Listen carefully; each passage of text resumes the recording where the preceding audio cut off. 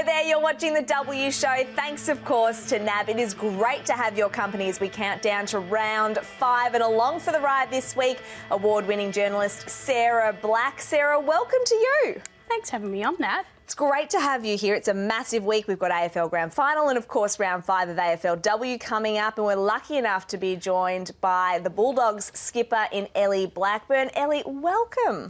Thank you for having me. It's uh, good to be here back on the W show again. Ah, it's great to have you back, and the Bulldogs are absolutely flying. Yeah, we're going well. So the timing's impeccable at the moment to, to, be on, and we can chat all things doggy soon, I have no doubt. And also, Premiership captain. It's fitting that we have you on this week in uh, Grand Final week. Absolutely. Sarah, you said it yourself. you weren't like touting that at all before the show. No, we love having Ellie on. We will get to the Bulldogs. They are our deep dive this week. But first, let's get to the news. Thanks to NAB, there has been plenty going on this week, of course, Jacqui Vogt banned for a strike on Ellie McKenzie, which isn't great news for the Bombers. The Sydney Swans, they've actually relocated to Melbourne in preparation for round five, of course, coinciding with the men playing in a grand final too. We've got a couple of rising stars in Montana Ham and Keely Skepper. And Sarah, some big news today. Uh, obviously, Christina Bernardi uh, elevated because Carlton have been absolutely ravaged by injury. Yeah, so they got away with the two points against the Dockers, but sort of at what cost? They've lost Phoebe McWilliams now for the season. Uh, Darcy Vescio, Amelia Velardo, and um, Paige Trudgeon will also spend some time on the sidelines. So they've hit that trigger where you can bring in a, a train-on player. So it's great to see Christina back on the AFLW level. It'll be her fourth AFLW club. Yeah, um, and second player to do that. Exactly, and I think she'll slot in really well in that forward line, just what they need. Well, as we approach the halfway mark mark, of course, of the season. It's all going so very quickly. The ladder, of course, is starting to shake, take shape. And as we know, Ellie Blackburn's Bulldogs are right up there. They're one of two clubs that are undefeated so far. What has been the most pleasing part of the first sort of four weeks or so of the season? Well, I mean, obviously, winning games of footy is uh, a highlight of it, but it, it's just the, the number that are, are, helping our team win at the moment. We've been able to see three 17-year-olds debut for us, which is absolutely incredible, but also the, the likes of Kirsty Lamb just continuing on from her All-Australian form as well. She's an incredible player, incredible teammate. I'm really to stand by her side week in, week out. And three straight 10 coaches' votes for Kirsty. As you oh. said, she is just at, an, another level this year. But it's really been the, the younger players who have caught my eye, Ellie. I wanted to ask you about Isabel Pritchard, Katie Lynch and, Ellie, and Eleanor Brown in defence, um, you know, uh, Izzy Grant as well. How have, the, how have you seen those girls come on? Oh, they've been incredible. And, and we knew that this would happen over the coming years. So obviously when we drafted them a, a few years ago now, but to see their development just in, in full swing and, and, they're not even remotely near what they're going to be able to do in, in years to come. But for me, it's, it's Izzy Pritchard is probably the biggest improver out of that list, I would I would say. I mean, that's not saying the other girls haven't improved, like they've done it incredibly, but just her role, she's we've swung her around in, in mm. sort of different roles and she's just taken it on really strongly and she's just a great character and an incredible footballer to, to have on our team. She's been super impressive. Mm. I spoke to you in the pre-season and we talked about the fact that you the Bulldogs haven't made finals since 2018. We know that season six was difficult for a number of reasons. Finals firmly on the agenda is what you told me. Is it it the young crop, this new generation of young pups that are really going to drive you towards that next flag, do you think? Oh, absolutely. They've, they've just got so much energy about them as well. Like it's it's so much fun at training, being with them and, and being in the gym and just listening to the way they talk in general and, and the way they carry on and all that stuff. It's, it's so much fun to be there and I think they're the ones that are, are completely driving what we're trying to achieve and, and they're so passionate about it. Like they know, and it's definitely spoken about that we won a grand final in 2018, but as you said, that's the only finals game that we've mm. played and been a part of. So we, we want to play finals footy. I mean, that's why you play footy is is for the ultimate team success. That's why you put through all the hours that you do in the pre-season and off-season. So these girls want it just as much as sort of the older players do. So they're driving it absolutely. You've got a couple of more sterner mm. tests, I guess, with North Melbourne this week. In a couple of weeks' time, you've also got the Demons who suffered their first loss at the weekend in round four. Where's the improvement, do you think, that's still to come for your group as you continue to build? I think it's just the consistency in our performances. I think you, you'll see that we drop off for a quarter or here or there. So I think it's being able to play a four quarter performance for us is, is something that we're looking forward to doing. Um, and obviously that will come with, like, as you saw from that list before, we've got a lot of 20 to 22 year olds on our list. So we're, we're just trying to get games into them, get a bit of experience into those girls, but the consistency um, in our performances um, on the weekends is, is definitely what we're looking for. Sarah, I mentioned North Melbourne. Obviously, the Dogs coming up against them this weekend. Where do you see them at? Because they lost a few players. I mean, Caitlin Ashmore's one, um, Aileen Gilroy as well went to the Hawks. Where did you see them? Did you expect them to make finals, or, or where did you have them at? They definitely still have the players to make the top eight. Um, I, I, think they're pretty much exactly where we thought they'd be, yep. which is in a good position. I, I, think, you know, they're two and two, but the two losses they had were to Adelaide and to Melbourne, and they didn't disgrace themselves by any means no, in those so losses. Close. Um, so I think, you know, there'd be eight to ten clubs who would love to be in the position mm. that North Melbourne are in, um, and, and I firmly expect to see them in the top eight at the end of the season.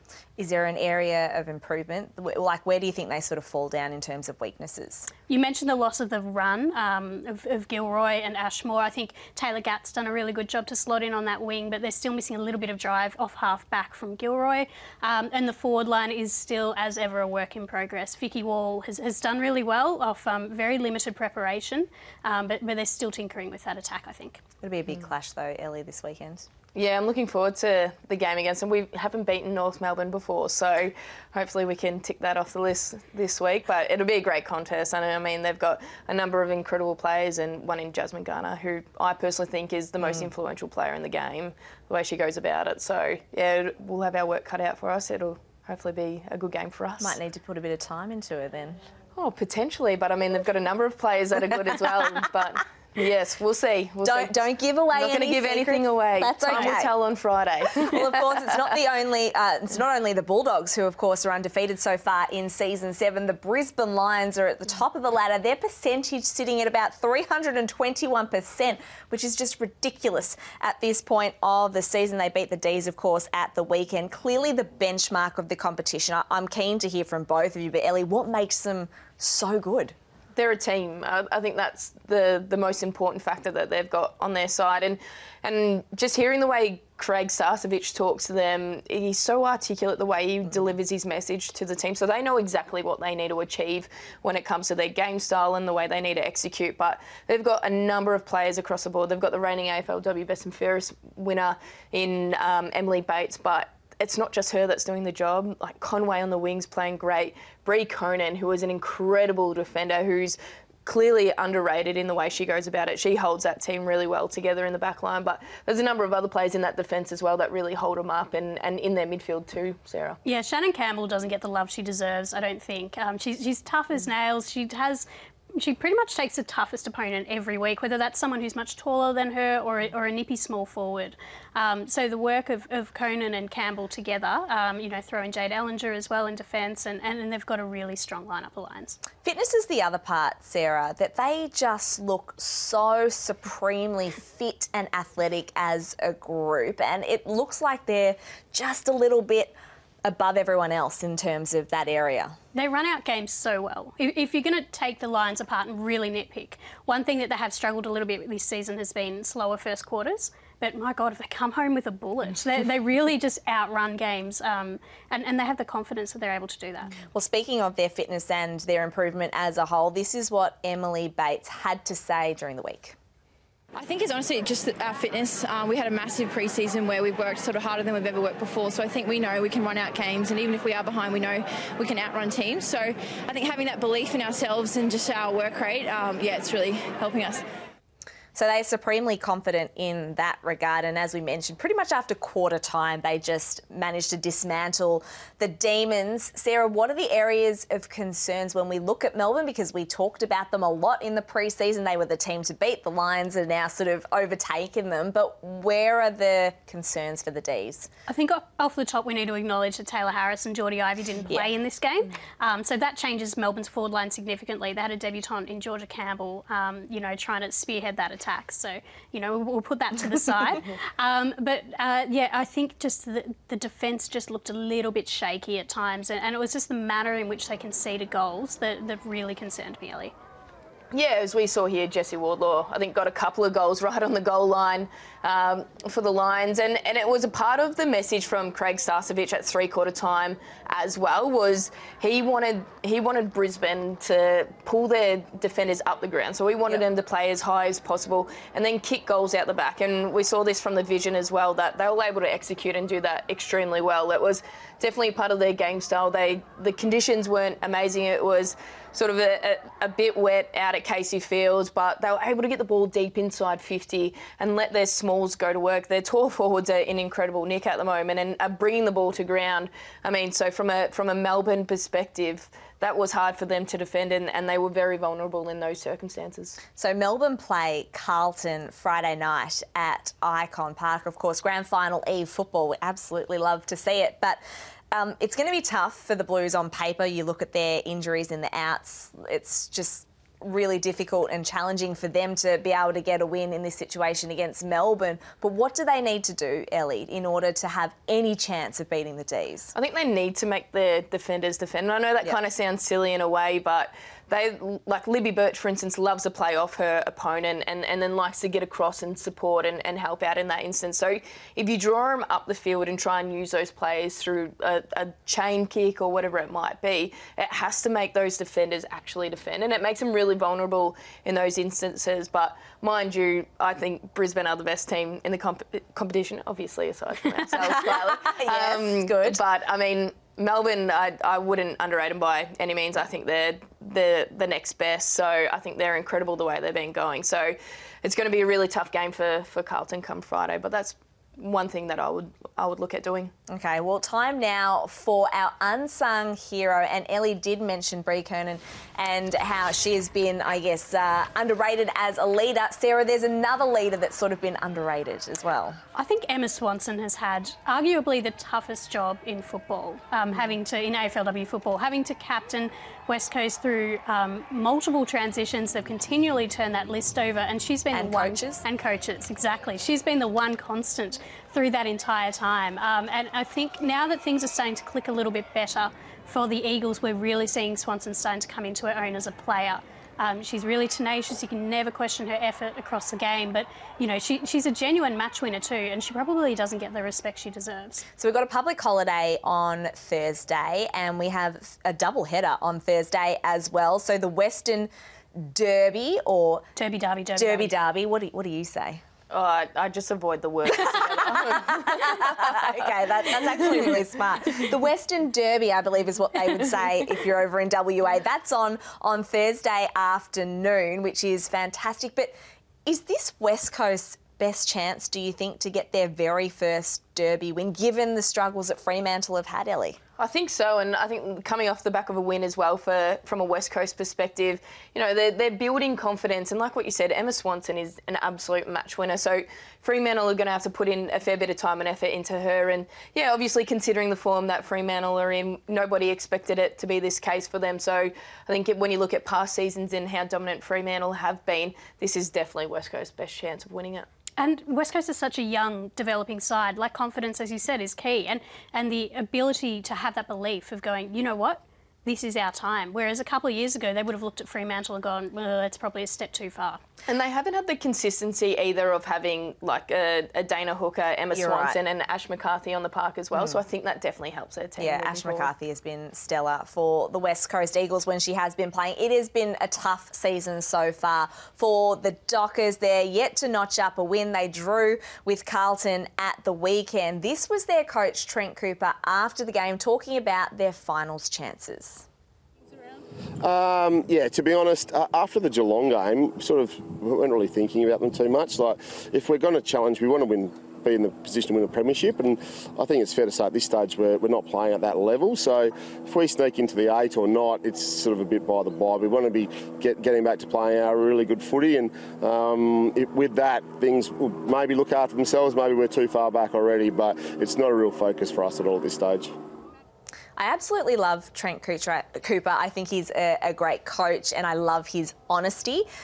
I just wonder what does a comment like that in a public forum do for the playing group, Ellie? When when you hear your coach say that and you're like, oh, well, what are we playing for? Like, what does that do for the group? Do you think? Yeah, it's a it's a really tough one because I mean it's it's also understanding and, and acknowledging where you're at at the Yeah. moment and, and taking accountability and ownership in, in that regards. But it's almost like do you lose a sense of belief because the reason why you play footy and you put in the hours that you do in terms of the pre-season, the off-season work and the level of commitment that you display each week is you want to win a grand mm. final. I don't play this just purely for fun. I mean, I love footy and, and all of that, but I play at the highest level because, you know, I, I want to win a premiership and I dedicate so much Yep. of that time to it. So does it knock a little bit of sense of belief out of the team? I'm not too sure, but I mean, that's conversations that they might have behind the scenes as well that we don't necessarily know about either. I mean, you had a really tough season um, last season, season six. COVID and, and a number of things sort of set you back. It took a while to get that momentum. You beat the Adelaide Crows, who who won the flag, of course. So we knew you were a good team, but you were up against it from the start. How difficult and challenging is that to kind of rally your team around you as a leader to kind of find something to salvage moving forward? Yeah, you're right. I mean, that was us last season. I, I think we didn't win a game until maybe round four or something like that. So I, I understand the, the position that they're in, and it is really challenging. But it's the little wins that you need to look for and, and aim to achieve. And, and the little wins are, you know, what you sort of trademark your game style around. So is it your contested possession? Is it the running carry that you're trying to achieve on the outside? Is it ground balls? Or is it, you know, how many goals or how many goals you defend in a game? Whatever it might look like, it's those little wins that you try and have each week and then build that forward. I mean, you don't want to knock down the season too early, but mm. if you realise that you're not going to play finals footy and you're pretty keen about your club and, and want to commit to it as much as possible, then you try and build for the for the next season off the back of that stuff. Interesting insight. Thank you for sharing that with us. Uh, time now for the buzz. There's been plenty happening on social media, and we start with the Sydney Swans girls watching the men make it into a grand final, beating the Pies by that one point. It was thrilling. This was their hotel in Adelaide. And then we have Erin Phillips doing a little bit of recovery with her daughter, which I absolutely love. And speaking of daughters, this is Kate Dempsey celebrating a win. This is a beautiful moment.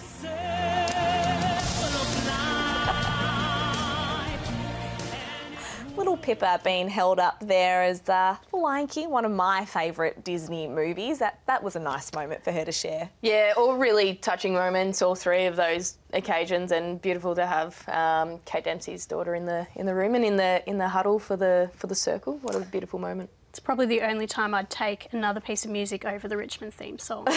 That was playing underneath, yes. okay, I love it. It's a little bit of uh, clever work from our social lead at AFL at women's.afl in Caitlin Arnold. Um, what are we looking forward to in round five? And I was going to say this weekend, but it all starts on Thursday. Sarah, what are you looking forward to? Yeah, I've got my eye on the match between Collingwood and Essendon. I feel like this is a real old fashioned battle of Collingwood's defence versus Essendon's forward line. What about you, Ellie? Yeah, I'm, I'm looking forward to the Sydney Hawthorn game. I mean, it's exciting that they've got the, the Friday night game um, at the Swinburne Centre and two expansion teams looking for their first win. And obviously, with, with Sydney in the grand final as well for the men's competition, I think it'll be really exciting there. Fingers crossed the Hawks can get a uh, first win their AFLW. Looking forward to that one. I'm just looking forward to watching four games of football on Friday, which is so very exciting as we lead into the men's grand final, of course, and the rest of AFLW round five. Now, Ellie, before you go, we've just got a little thank you because our good friends at Zena Sport, who are a valued NAB customer, have got a voucher for you. The Zena Z1 and Youth Vest are a fantastic way to help protect and empower female athletes of all ages. So that is coming your way. It has been great having you on the W Show again. Thank you so much for being here and best of luck this weekend. Thank you. Hopefully, get a win on Friday too. I know we don't want to jinx the fact No, that no, we no, we could don't. end your run. No, no. You're welcome back anytime, Sarah. Love your work as always. Thank you so much for joining us on the W Show. Enjoy what is to come for round five AFLW. For all of your women's news, make sure you go back to women's.afl and the AFLW app. We will see you next week.